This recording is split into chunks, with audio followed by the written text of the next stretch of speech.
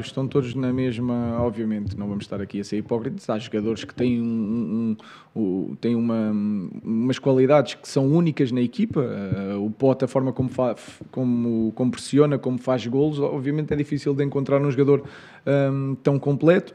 Uh, o Palhinha, pela sua forma, não encontramos eh, jogadores como o Palhinha, e nesse aspecto, obviamente, que há jogadores que são mais difíceis de substituir.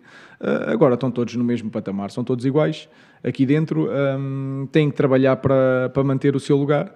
E portanto, como eu disse, não quero, eu estou sempre do lado do clube, nós só temos uma, uma ideia, portanto, não quero estar eu a dizer nomes de jogadores intransferíveis que depois o mercado obriga a certas coisas que ninguém quer Uh, portanto, eu digo que não há intransferíveis, mas que eu gostava de manter, manter todos e isso faço, faço força todos os dias porque é o meu papel.